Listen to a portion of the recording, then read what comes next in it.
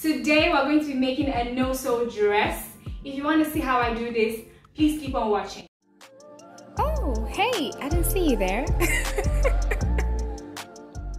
Hello, welcome back to my channel. My name is Silem. If you're new here, please hit the subscribe button so you're notified whenever I post a new video. If you haven't seen my previous no-sew projects, please click the link right here. Today we're going to be making a no-sew dress. All you need for this no-sew DIY is your chalk, scissors, measuring tape, and your fabric. The fabric I'm using for this DIY is not a solid fabric. This means that there is a clear distinction between the right side and the wrong side. You can see that the wrong side is different from the right side. However, this fabric is a self-finished fabric, meaning that it does not fray. Look at this, it doesn't fray. And this fabric is stretchy as well, you want to see how I make this dress, please keep on watching. I'm using um, one and a half inches for this DIY. So the first step is fold your fabric in half and that's what I'm doing now. Simply folding my fabric in half and just try to make sure that all your edges and all your sides are equal. And that's what I'm doing now. So having done that, the next step is um, you know the side where you have the fold? Yeah that's the part that's zoomed in right now. So from the top I'm just measuring five inches downwards. And I'm going to mark that. And then the next thing I'm doing is from that five inches mark I'm measuring six inches across. So yeah six inches across from that five inches mark and I'm just placing a mark there as well.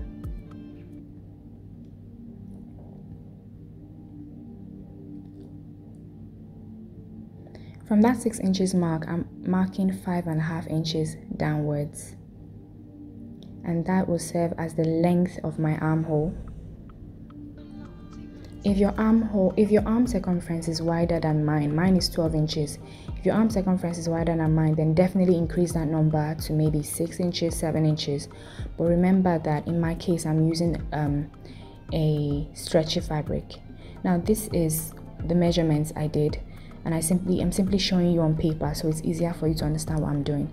And that part where I'm rolling on the paper, that part where I'm touching on the paper is the fold, just to show you that um, I'm marking at the side where the fold is.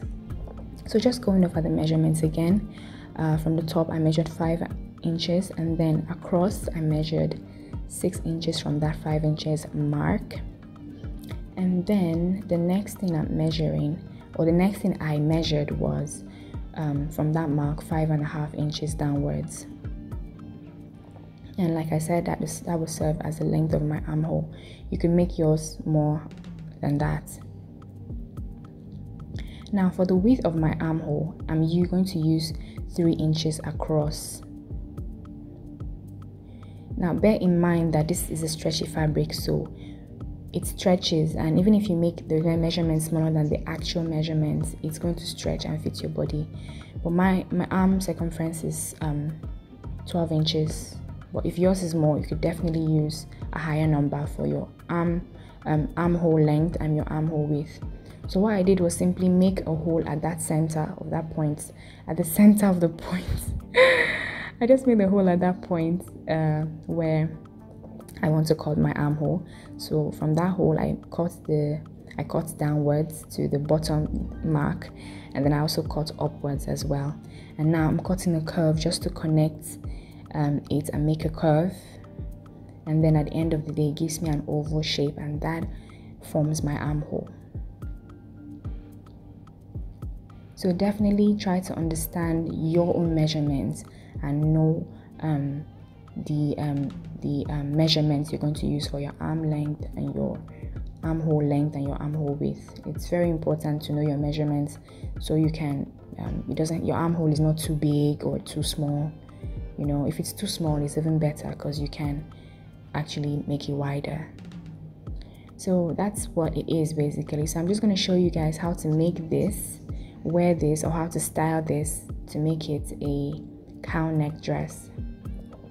so having put my arms through the armholes i'm just taking one um, edge and tuck, tucking it through um, the other armhole to the opposite armhole.